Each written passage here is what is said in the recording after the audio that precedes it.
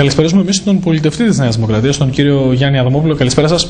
Καλησπέρα κύριε Καναλόπουλο σε εσάς και στους τηλεθεατάς σας. Βρισκόμαστε στην τελική ευθεία για τις εκλογές και αυτό που θέλω να σας ρωτήσω καταρχήν είναι με τι κλίμα πάμε, κύριε Αδαμόπουλο, γιατί φαίνεται ότι μιλάμε για εκλογές με αρκετές ιδιαιτερότητες, με τους πολίτες ε, ουσιαστικά στα κάγκελα και να αντιδρούν. Γιατί μέχρι τώρα ε, το ίδιο το πολιτικό σύστημα, το ξέρετε και εσείς πολύ καλά, αυτοδιοικητικός ήσασταν ε, αρκετά χρόνια και στην Ήρα, ε, δεν έχει αποδώσει αυτά που έπρεπε.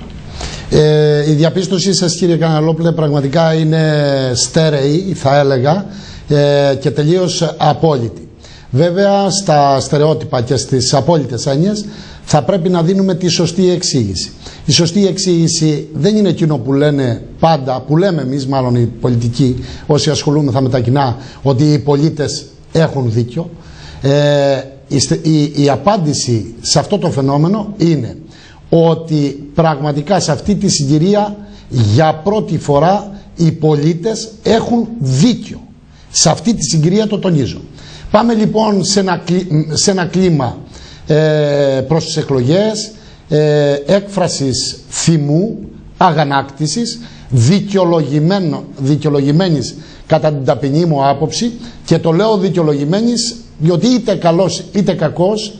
Ε, κύριε Καναλόπουλε θα πρέπει να πούμε μία φορά ή για πρώτη φορά μια αλήθεια μια διαπίστωση η οποία αποτυπώνει την πραγματικότητα έγιναν τεράστια λάθη έγιναν δεν θα υπονοήσω κάτι σκόπιμα ή μη. Πάντως έγιναν τεράστια λάθη στο παρελθόν. Για αυτά τα λάθη, γιατί να μην τιμωρηθεί και η Νέα Δημοκρατία, θα ρωτήσω.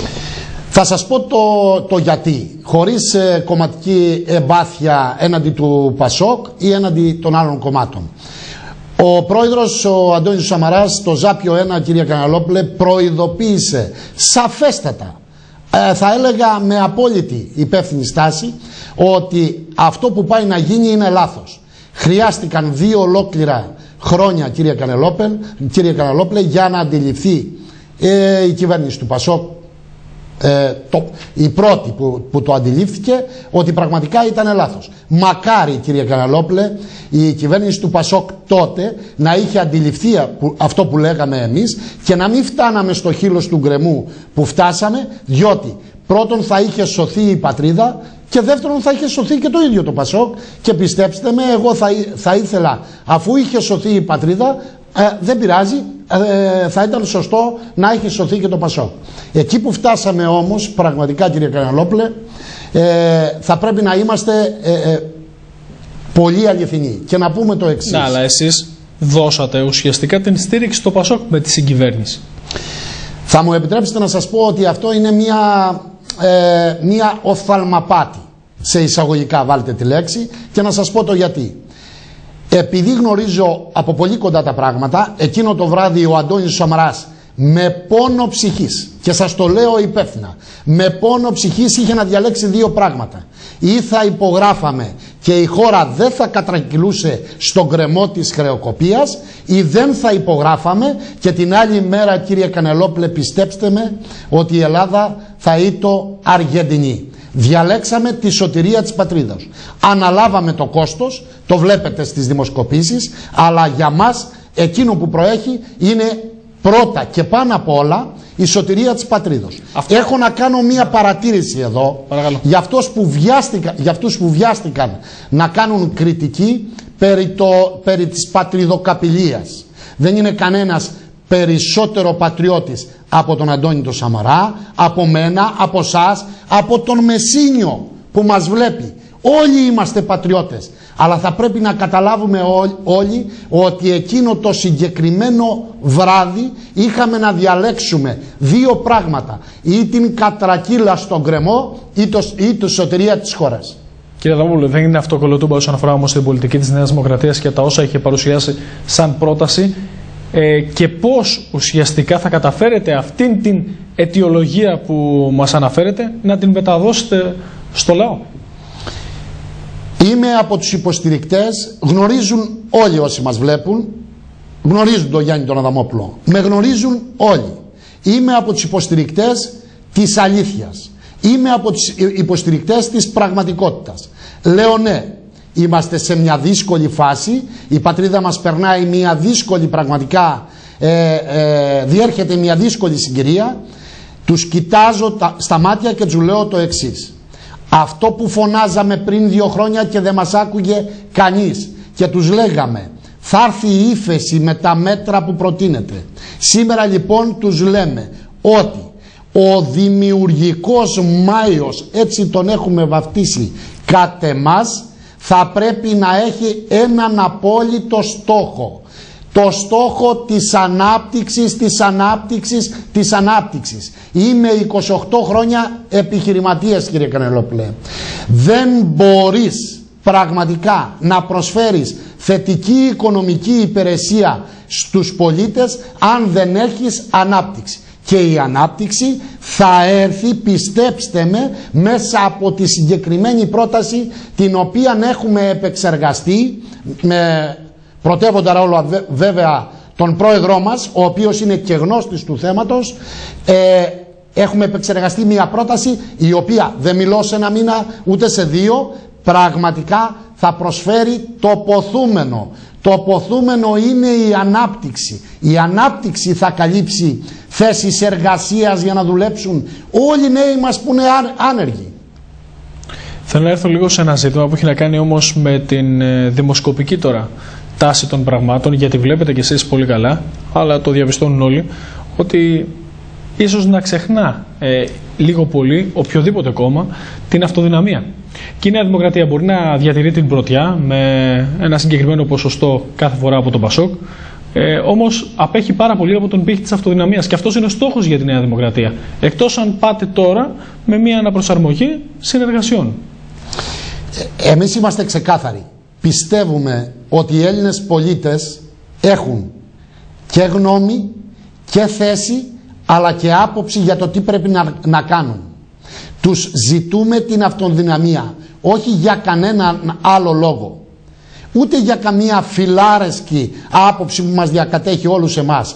Ζητούμε την αυτοδυναμία από τους πολίτες για να είμαι θα ισχυροί να διαπραγματευτούμε αλλά και για να μην είμαστε φοβικοί να επαναδιαπραγματευτούμε τα όσα μέχρι σήμερα έχουν γίνει. Μόνο από ισχυρή θέση μπορείς να διαπραγματευτείς και όχι από, από αδύναμη θέση.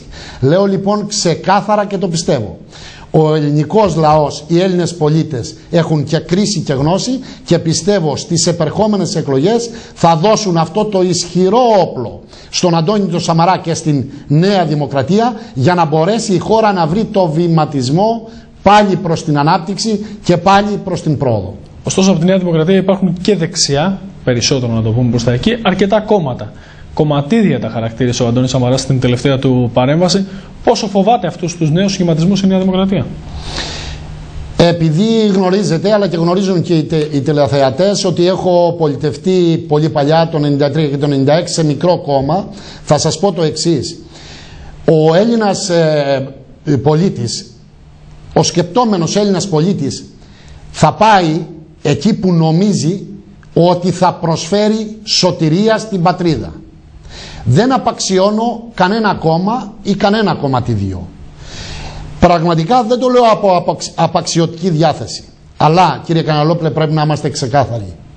Η σωτηρία της πατρίδος βρίσκεται σε συνετές προτάσεις και όχι σε προτάσεις με κραυγές και σε προτάσεις άναρχες. Το τονίζω αυτό διότι πρέπει να μάθουμε επιτέλους να λέμε την αλήθεια όσο πικρή κι αν είναι. Λέω λοιπόν ότι ο κόσμος θα σκεφτεί, θα σκεφτούμε όλοι, θα προβληματιστούμε, θα προβληματιστούμε και θα πούμε ποιος είναι η ελπίδα, ποιο κόμμα μπορεί να προσφέρει ε, νότα αισιοδοξίας για το μέλλον. Και εν τέλει πιστεύω ότι θα δώσουν τη δύναμη ε, που πρέπει να δώσουν στο κάθε κόμμα. Μάλιστα. Ε, Έμπειρος τόσα χρόνια, να έρθω λίγο και στη Μεσσηνία, πιστεύετε ότι η Μεσσηνία έχει να κερδίσει από τον Αντώνη Σαμαρά; Είμαι από αυτούς που υποστήριξαν πριν δύο χρόνια, πριν δυόμιση χρόνια περίπου, το να εκλεγεί ο, πρόεδρος, ο Αντώνης Σαμαράς πρόεδρος της Νέας Δημοκρατίας. νομίζω και θα το πω και λίγο εγωιστικά ότι δεν χάσαμε. Το να είναι ο αρχηγός της αξιωματικής αντιπολίτευσης από, από τον ομό μας νομίζω ότι περιποιεί τιμή. Φανταστείτε λοιπόν αύριο να έχουμε τον πρωθυπουργό της χώρας από τον τόπο, μου, από τον τόπο μας. Και εδώ θα πρέπει να, να πω κάτι κοιτάζοντας τους Μεσίνιους και τις Μεσίνιες στα μάτια. Είμαι αληθινός άνθρωπος. Συνήθως δεν κάνω ευχολόγια. Ούτε στους αρχηγούς, ούτε στους προέδρους. Μόνο στο Θεό έχω μάθει να κάνω ευχολόγια. Γιατί αυτός είναι πάνω από μας. Λοιπόν, κοιτάζοντας τα μάτια τους Μεσίνιους και τις Μεσίνιες, έχω να τους πω το εξής. Η ελπίδα βρίσκεται αυτή τη στιγμή για την Ελλάδα σε αυτό που, που, που ακούει στο όνομα Νέα Δημοκρατία Αντώνης Σαμαράς. Πολλό δε μάλλον η Μεσσηνία καταλαβαίνετε τι θα γίνει στη Μεσσηνία όταν ο Πρωθυπουργός της χώρας είναι Μεσσίνιος και Μεσσίνιος όχι εξ αποστάσεως, όχι από καταγωγή μακρινή, Μεσσίνιος ο οποίος τα τελευταία 35 χρόνια αγωνίζεται από τον Επικούριο Απόλλωνα στα νάκτορα του, του, του Νέστορος, από τη Μεθόνη και τη Στούπα μέχρι το καλό νερό, τους Γαργαλιάνους και τα Φιλετρά και την Κυπαρσία. Έχει άποψη. Και όταν ένας άνθρωπος έχει τελεία άποψη μπορεί να προσφέρει σε αυτό τον τόπο πάρα πολλά. Μάλιστα. Εσείς πώς βλέπετε τώρα τα πράγματα για το προσωπικό τώρα ε, επίπεδο αναφέρομαι; Έχετε ξεκινήσει την προεκλογική έτσι, επαφή με τον κόσμο της; Εγώ κύριε Κανελόπλε είμαι, το έχω τονίσει πολλές φορές, είμαι στρα, στρατιώτης. Το έχω αποδείξει στη μακροχρόνια πορεία μου. Από εκεί πέρα κάνω έναν θα έλεγα τεράστιο αγώνα σε όλη τη Μεσσηνία. Γυρνάω από χωριό σε χωριό, από καφενείο σε καφενείο για να πω στους συμπολίτες μας αυτά που πιστεύω. Αν δεν τα πίστευα δεν θα τα έλεγα. Σε προσωπικό, το προσωπικό, η προσωπική επιτυχία, η όποια προσωπική επιτυχία ε, έρχεται σε δεύτερη μοίρα. Νομίζω ότι εκείνο που προέχει είναι για το καλό της πατρίδας αλλά και για τη Μεσσηνία μια αυτοδύναμη κυβέρνηση της Νέας Δημοκρατίας. Να σας ευχαριστήσω πάρα πολύ για αυτή τη συζήτηση. Και εγώ σας ευχαριστώ.